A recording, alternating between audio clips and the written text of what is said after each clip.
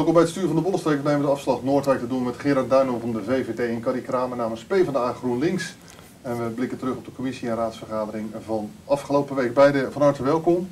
Laten we maar meteen in een, een, een groot onderwerp duiken, dat is de woonagenda. Uh, wat gaan we bouwen de komende nou, tientallen jaren misschien wel uh, in Noordwijk?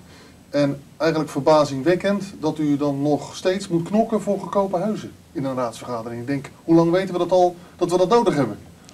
Nou ja, goed, ik heb uh, gisteren in, uh, in de raadsvergadering ook al teruggehaald naar de vorige eeuw. En als we dan kijken dat we dan uh, zeg maar toen al bezig waren om afspraken te maken, met name voor sociale huur. We zitten nu in 2016 en in plaats dat het omhoog schiet, het percentage, schiet het alleen maar naar beneden toe. Ook heeft dat te maken met zeg maar, de veranderingen van het woonpuntensysteem. En uh, straks uh, ook uh, de OZB die meegeteld gaat worden, wat in Noordwijk erg hoog gaat liggen, betekent weer een afvloeiing en een aftopping van de sociale huur. Ja, afgesproken is altijd bij nieuwbouw 30% sociaal, maar ja. toch loopt Noordwijk hopeloos achter. Waar is het dan fout gegaan? De Boekhorst is, de verf, de verf is net droog eigenlijk. Ja, nou, Boekhorst heeft in ieder geval die 30% zeker gehaald. En ik denk dat het ook wel te maken heeft met, ja, als je terugkijkt, met de bevolkingsopbouw van Noordwijk. We hebben natuurlijk wel uh, meer, op dit moment meer uh, huurhuizen, sociale huurhuizen nodig. Dat ben ik wel met je eens. Maar uh, dat dat in het verleden niet in de pas is gelopen met bijvoorbeeld een stad als Leiden of andere plaatsen als Katwijk. Katwijk had toen al 40% sociale huur en wij zaten toen op 23 of zo. Mm -hmm. Dat denk ik ook wel te maken heeft met de bevolkingsopbouw van Noordwijk. En misschien ook dat er dus op bepaalde plekken in, in Noordwijk te dure uh, grond was, waardoor je niet echt goedkoop kon bouwen. Maar goed, ik, uh, ik ben het wel met Carrie eens dat we daar een inhaalslag, het inhalen zullen we het nooit denk ik, maar we moeten wel zorgen dat we behoorlijke uh, hoeveelheid gaan bouwen de komende tijd aan, aan de sociale huur dan. U kwam met een voorstel hè, voor de, de uitleggebieden, dus dat is in normale mensentaal gewoon de, de plekken waar we straks nieuwbouwwijken gaan neerzetten. Of Zuid en uh, Bronsgeest inderdaad. Wat wilt u dat daar gaat gebeuren? Wij willen in ieder geval uh, een garantie hebben dat daar minimaal 30% huur op gezet gaat worden. En uh, daarnaast hebben we ook nog een uh, voorstel gedaan uh, rondom kleine projecten om daar ook een soort percentage te doen van 20% huur en 10% koop. Okay. Dus als je vijf nieuwbouwhuizen neerzet ergens in Noordwijk? Dan zou het kunnen zijn dat daar één van sociale huur, CQ, koop uh, is. Nou, dat is natuurlijk ook het punt waar we het gisteren over hebben, van wat is sociale koop? En daar gingen we op een gegeven moment ook een beetje over stoeien, want dat is natuurlijk, uh, uh, dat is een dinsdag in de commissievergadering aan de orde geweest. Wat is nou betaalbaar? Wat is nou betaalbaar in sociale koop? En, en ik ga even terug. Ik geloof dat ik toen vanuit een andere positie, ik denk jaar terug, heb ingesproken.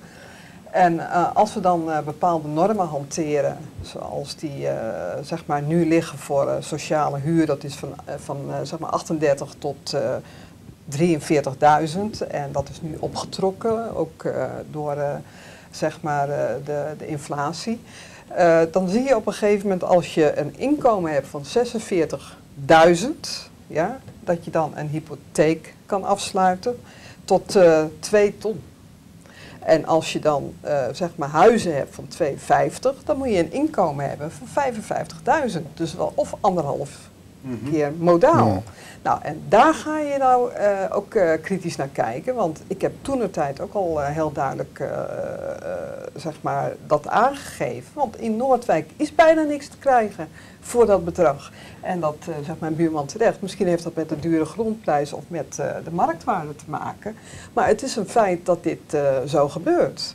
Ja. En dat betekent in feite dat de starters altijd achter gesteld worden ten aanzien van anderen. En destijds gevlucht zijn naar vooruit. Uh, Peter van Bokhoven brak een lans van, nou, nou eens op met sociale woningbouw, want dat woord sociaal, denk ik, ja, heb je ook asociale, woningbouw. Betaalbaar moeten we het over hebben. En hij noemde een prijs van 160.000 euro. Ja, dat, nou. dat, daar schrikt iedereen van in Noordwijk. Ja, maar dat, dat vind ik onterecht dat je daarvan schrikt. Want uh, we zien gewoon in het land, en, en niet zo ver van Noordwijk ook af, bijvoorbeeld uh, in Lissebroek. Er zijn een hoeveelheid woningen gebouwd voor 102.000 euro. Dat zijn kopstaartwoningen. Daar konden starters voor 102.000 euro, ik praat nu over een jaar of acht geleden ongeveer, konden daar een, een huis kopen. Eh, uiteraard met een MGE-constructie, dat je dus niet na, na verloop van een paar jaar uh, tegen de marktwaarde dat huis weer kon verkopen. Nee, de winst die eigen precies, dat, dat, dat werd, werd goed. Uh, en, en ik denk dat het te maken heeft met het feit dat de gemeente meer eis moet stellen aan dan ook inderdaad wat voor soort woningen ga je neerzetten. De woningen, er zijn op dit moment woningen te bouwen voor rond de 140, 150.000 euro. Dat zijn die pre, soort prefect woningen. In Leiden zien we dat ook, bij, uh, waar die voetbalvelden lagen. Hoe heet die, uh, die straat? Daar hebben ze ook een, heel, een hele serie uh, goedkope woningen neergezet. In zes weken tijd waren die huizen glas en water dicht. Weet je wel? Dus maar waar is het probleem om het niet te doen? Nou, dat, dat snap ik ook niet. Ik snap het uh, nog steeds niet waarom dat in Noordwijk niet kan. Waarom kunnen we... Ik denk het wel. Ik denk dat we dus als, als, als gemeente, vooral in, in, voor die uh, groep woningen, meer de vinger in de, uh, in de pols moeten, moeten houden, de vinger in de pap. Om, om dat af te dwingen als het ware. Want het is echt mogelijk om redelijk betaalbare woningen te bouwen. En of je dat nou sociaal noemt of niet sociaal. Het gaat gewoon om die prijs. Uh, 150, 140.000 euro is een mooie prijs voor een starter. Maar wat raar was, 160.000 euro. Peter van Bokhoven die gooide een soort van olie op het vuur om die discussie ook los te Ja, maken. ja. Jullie kwamen met jullie voorstel, naar aanleiding daarvan ontstond Ja. ook discussie. Maar dan krijgen we de reactie van Dennis Salman, dezelfde partij als Peter van Bokhoven. En dan zou ik denken, als wethouder pak je het met beide handen aan en ga je ermee aan het werk. Maar hij, het was bijna een ontwijkend antwoord. Ja, ik heb met de Noordwijkse Woningstichting te maken, dus ik kan eigenlijk niks. Daar, daar kwam het bijna op neer. Nou, Mhm. ik heb naderhand eh, nog even eh, contact gehad met de woningstichting en eh, die omarmde ons voorstel eigenlijk. Want we willen heel graag naar zoveel procent Maar sociale Waarom huur. dan die lauwe reactie van de wethouder? Ja, dat, dat is dan denk ik misschien de berekening van eh, de grond en, en allerlei andere zaken, wat, eh, wat daar eh, van invloed is. Maar juist die berekening van hoe de verdeling van de grond gaat, en dat was in eerste instantie op Offum Zuid, eh, daar weten we alles van. En daar blijkt dus dat zeg maar drie partijen er waren, maar op de gemeentelijke grond de sociale woningbouw gaat komen. En dat is te weinig voor die inhaalslag wat, waar we het dan over hebben. Dus vandaar ook dat bronsgeest erbij getrokken is, want daar moet ook een eh, gedeelte eh, gebouwd Maar, gaan maar worden. even, even iets praktisch. Eh, je hebt misschien meer zicht over hoe dat gaat, met onder andere met een projectontwikkelaar. Die wil ergens bouwen. Wie, wie is dan de baas? Wie bepaalt wat er gebouwd wordt? Nou, in feite is het toch de gemeente. We, hebben natuurlijk een eh, soort verdeling van de, woningen. 30% sociaal en dan middenduur en duur en, en nog een, een klein stukje luxe. Dat, dat, dat staat in het bestemmingsplan. Eh, waar, waar we ook gaan bouwen, dat zal straks in, in Bronsgeest misschien iets, iets ruimer nog worden. Iets van 35 of 40% sociaal. Dat weet ik niet, dat moeten we nog zien. Maar dat bepaalt dus in feite de gemeente. Alleen de vraag is eh, eh, of de bouwer bereid is om eh, zeg maar, tegen echt een scherpe prijs een hoeveelheid woningen neer te zetten. En ja, in het verleden zie je dat daar toch moeilijk over gedaan wordt. Dan nemen we het op Maar, handen. nou, ik wil toch nog even aanhalen. In het verleden hebben we het, plannetje op de hoek bij, bij Bertram gebouwd. Daar zat een stukje gemeentegrond in. Weteringpoort. Daar hebben we toen ook met de bouwer afgesproken van moet luisteren, daar moet ook 30% sociaal in. En dat is ook gelukt. Eh, omdat we met name een, een sterke vinger in de pap hadden, omdat we daar natuurlijk een stuk grond zelf hadden. Ja. Dus het is echt mogelijk. Eh, daarom moet je als gemeente toch meer de regie houden met die, met die ontwikkelaar.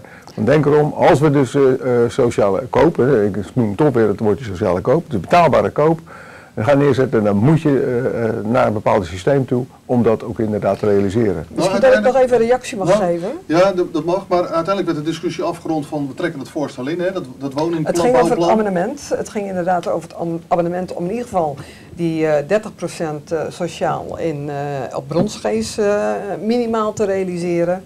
En daarnaast eh, het amendement van die projecten. Eh, dus wat dat betreft eh, eh, komt dat terug, hebben we eh, Ja, afgesproken. maar even over het terugkomen. In augustus beslist u er dan weer over, zodat u tussentijds even kunt overleggen. Daar zijn we er niet bij, bij dat overleg. Ja, Maar gaat u dan gewoon zeggen van, als er 500 huizen komen, dan moet er 30% betaalbaar zijn rond 160.000 euro. Wordt, wordt dat dan het verhaal? Nou, dat is, dat is even, het bedrag hebben we nog niet Nou, ingevuld, want je hebt natuurlijk te maken met sociale huur. En we En hebben daarnaast te maken met betaalbare, betaalbare koop. En daar ging het dus gisteren ook even eh, eh, fout, laat ik het zo zeggen. Want wij wilden dus duidelijk die minimale 30% huur Ja. vastleggen. En daarnaast werd dan op een gegeven moment dat koop eh, zeg maar erin. eh, Ja, dus het was en-en. Het was een en-en, maar goed. Wij waren in eerste instantie voor de sociale huur. Maar ik wil toch even terugkomen op de opmerking uh, of dat een rol van de gemeente is. Nee, ik denk ook dat de prestatieafspraken met de NWS hier van belang zijn geweest. Met name in het verleden. Uh, Zoals u weet, wij, zat ik ook uh, in een andere positie en, toen. En wij hebben altijd onze bevreemding uitgesproken, ook bij de NWS toen, met de toenmalige directeur van waarom geen sociale huur. En het antwoord was? En dat, dat is iets wat op een of andere manier... Dat blijft dat een beetje zweven hangen. En dat, weet al, dat is die, jaar dat en dat is. is die controlefunctie. En ja. ik denk dat wij gewoon veel, veel, veel scherper moeten zijn in de prestatieafspraken ja. met de NWS. Nee, daar ben ik wel met je eens. Maar waar wij mee zitten is met dat bouwclaimmodel. De projectontwikkelaar koopt grond, vervolgens verkoopt hij uh, goedkoper die grond aan de gemeente in tussentijd en hij claimt dan 200, 180 uh, woningen uh, te mogen bouwen. Nou, en daar heeft dan uiteraard de ontwikkelaar het meeste in te zeggen.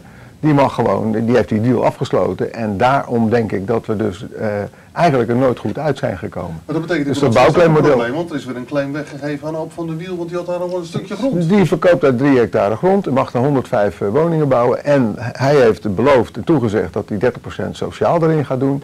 En natuurlijk uh, zal hij uiterst zijn best gaan doen, want anders dan moet je zijn afspraak niet maken. Ja. Op zijn stukje grond dan, eh, om daar uh, gevolg aan te geven. Maar wat gaat er wat u betreft gebeuren tussen nu en de volgende keer dat u weer over die woonagenda praat? Wat moet er dan veranderen om een keer betaalbare woningen te realiseren? Ja, We praten er al uh, tientallen jaren kijk, over. Ik vind het heel sympathiek, die, die, dat amendement. En ik denk ook wel dat het gaat lukken, omdat de meerderheid van de Raad daar zeker aan gehoor wil geven. Maar uh, wij zijn toch als VVD van mening dat je ook de Noordwijkse starter uh, in de koopsfeer uh, moet, moet daar moet je aan denken. Want die veroorzaakt ook een, bij wijze van spreken, een doorstroming. En een starter die gaat in een goedkope woning en de doorstromer die gaat naar een wat duurdere woning. Dus wij zeggen ook, hou die percentages nou zodanig in balans dat je niet alles gaat gooien op sociale huur.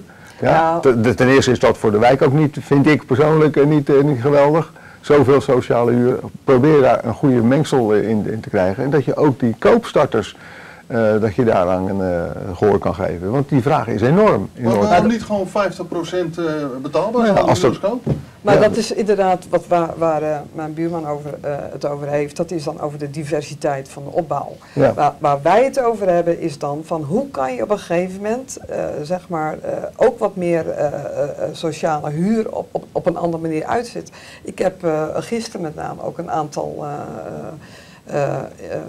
zeg maar, uh, insteeks uh, richting de NWS gedaan. Van waarom doet hij geen woningruil onderling met gesloten beurs? Ik ken situaties waar uh, zeg maar, een, een, een, een oudere man een heel groot huis heeft en heel graag wil ruilen met een gezin. Met, met een gezin. Waarom kan dat niet? En dan blijkt dan op een gegeven moment dat die huren opgetrokken worden.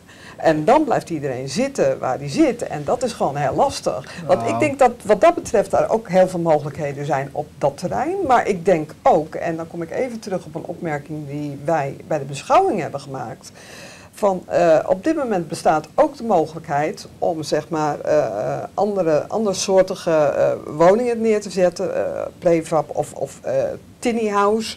En, en gebruik dat ook. Gebruik ook dat soort vormen. Want ik weet dat ze in andere landen... Ik kan me herinneren in uh, Royal een paar jaar geleden door Andries de Boer georganiseerd. Daar ging het al over, uh, ja, gaan ze wat anders bouwen dan normaal.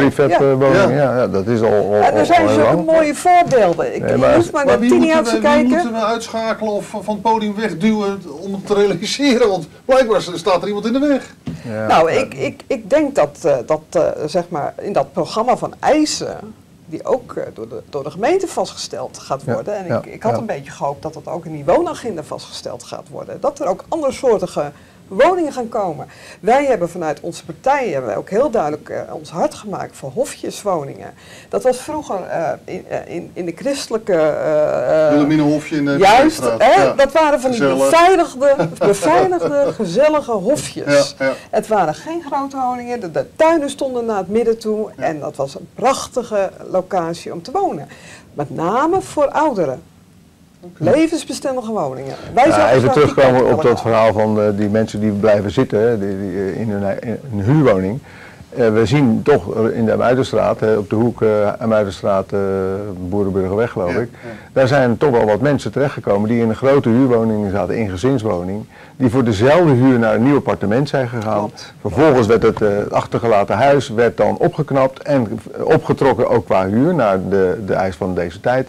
Zodat die mensen wel uiteraard gegaan zijn. Dus dat verhaal loopt al en ik, misschien moeten we dat nog veel meer gaan toepassen, althans de Noordwijkse Woningstichting. Klopt. Dat is, ik, ik kan dat goed begrijpen. Als je 400 huur betaalt, dat je niet opeens naar 650 wil. Dat- Eh, je woont kleiner en eh, dus ik, ik kan me er goed voorstellen dat die mensen dat niet willen. Dus daar moet je ook eh, een voorziening voor treffen. Is Dat dat die- af te dwingen bij de Noorwijkse Woningstichting? ja, maar die doen het al. Die doen het al. Ja. Alleen, eh, eh, dit project eh, op de Buitenstraat is dat Ja, inderdaad er moeten wel gebeurd. projecten zijn om het te realiseren. Ja, Dus precies. Er, moeten veel meer projecten Maar komen. dat kan, dat kan denk- in, dat kan denk- in Boekhoorns of in uh, Roffum-Zuid, maar dat kan ook in Bronsgeest ik, denk, eventueel. ik denk dat we ook moeten kijken naar de bestaande voorraad. Wat is daar nog mogelijk? Wat, wat, waar, waarin kunnen we schrijven? Daarnaast is de huurder ook bereid om te investeren in zijn eigen woning. ja, ja, dus wat dat ja. betreft moet dat allemaal wat flexibeler worden en, en minder eh, Hm. eh, krampachtig. We gaan het eh, afwachten in augustus wat er dan eh, op de agenda staat en eh, in hoeverre de woonagenda, want zo heet Ja. het plan, eh, veranderd is. Ja. Een paar korte onderwerpen nog.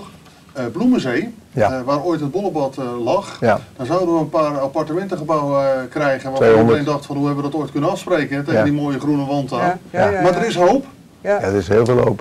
Hoe Ja. gaat dat eruit zien? Hoe, wat krijgen we nu daar? Wat ik, eh, ik was eh, niet bij de presentatie, maar ik heb wel de plaatjes in de tussentijd al gezien. Ik Ja. vind dat het er eh, mooi uitziet. Eh, ze noemen dat dan weer de Noordwijkse stijl, maar gewoon een beetje, eh, eh, Normale laten we huizen. zeggen, normaal, een, leuke huizen die Ja. tijdloos eh, eruit zien in ieder geval. Eén gezinswoningen, Ge- helaas geen, geen sociaal. Nou, maar dat- dat- dat, is, dat is ook een puntje natuurlijk Precies, waar, je kritiek op kan hebben. Van, maar eh, een- gewoon een gevarieerde wijk in een mooie archi- architectuur onder die eh, duinrand van de Prins Hendrikweg. Dus ik denk dat dit een enorme verbetering is. En wat er ook nog bij is, dat we dus het geld wat we afgesproken hebben wat ze moeten betalen voor die grond, dat dat inderdaad 35 miljoen. 35 miljoen, dat is met rente en zo toegerekend nog. Eh, dus dat, dat ziet er allemaal goed uit. En ik hoop dat, eh, dat we daar eh, toch in 2017 eh, ja, gaan beginnen. Ja, dat Ja. Nieuwe mogelijkheden, we zijn nog niet zo ver. Het Hoogvlietterrein, uw eh, partij kwam nog met een voorstel om dat te, proberen te veranderen. Is de supermarkt op de hoek van de wat is het, klopt, Kronkorstraat en de Zeestraat. Dat is een beetje een doos is dat geworden en iedereen was eh, had, eh, protesteren, Ja, maar kijk, ik begreep uit de raadsvergadering dat het wel meevalt. Het, het, het hele verhaal is natuurlijk ook alweer zo'n proces wat al jaren speelt. Oh, dat zeker, ja. Dus wat dat betreft heb je ook te maken dat eh, zeg maar de, de, de, de winkeliers op een gegeven moment graag resultaten willen zien op dat project. Daarnaast hebben we natuurlijk eh, eh, eh, een, een, aanbieding van een, van een bedrijf die dan nu zeg maar met minimale voorwaarden aan de slag gaat. Wij zijn gewend om zeg maar projectontwikkelaars te krijgen die het maximale eruit Ja. halen. En dit is een, toevallig een, een, een, projectontwikkelaar die uitgaat van het minimale. Maar als je zeg maar de, de visie, de oude dorpskern pakt, ja, dan staat daar iets anders in. En dat was onze in, in- Maar insteek, want wilde wij wilden parkeren- een U wilde kwaliteit... parkeren onder de grond, maar parkeren onder de grond willen die winkeliers in de kerkstad helemaal Dat, niet. dat is het punt. En, en, en, en ja, goed, dan zeggen wij, ja goed, dan, dan, dan heb je te maken met eh, blik onder de weg. Onder, onderin, eh, zeg maar, een, Maar de een, een loopje, dat werd gisteren door onze bakker, eh, wethouder Bakker aangegeven. Terwijl wij dan denken van, nou, kijk dan ook even naar wat je er bovenop kan zetten. Want ook daar zouden we weer eh, sociale huur willen zetten. En dat was de insteek van en en. En parkeerplaatsen en sociale de huur. conclusie is dat er niks gaat veranderen aan het plan. Nee, nou goed. Nou, eh, het is wel veranderd. Ik bedoel, het eerste plan zag er niet uit. Nee, Eh, dat was- echt een, eh, dat- dat is die zo. had, die had Dat ook zo. op Schravendijk kunnen staan. Dit ziet er in ieder geval redelijker uit. Er zitten wat gevelbeelden. Maar En- blijven en- ons zorgen maken. Tuurlijk, dat kan de me voorstellen.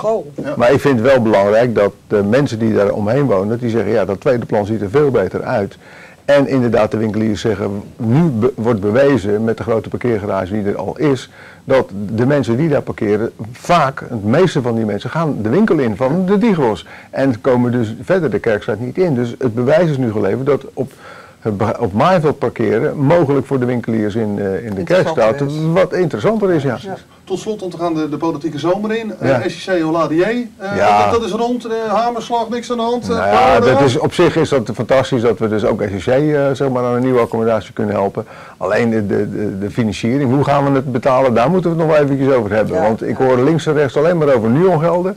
En dan krijg ik eh, het gevoel van, oh gaan we de potjes eh, weer leegmaken die Ja. we zorgvuldig hebben opgebouwd. Dus daar moeten we wel voorzichtig mee zijn. Maar SEC, kom op, vooruit. Eh, prachtig. Ja hoor. En het poppodium mogen we ook niet vergeten. Bedankt Ja. voor de komst naar de studio.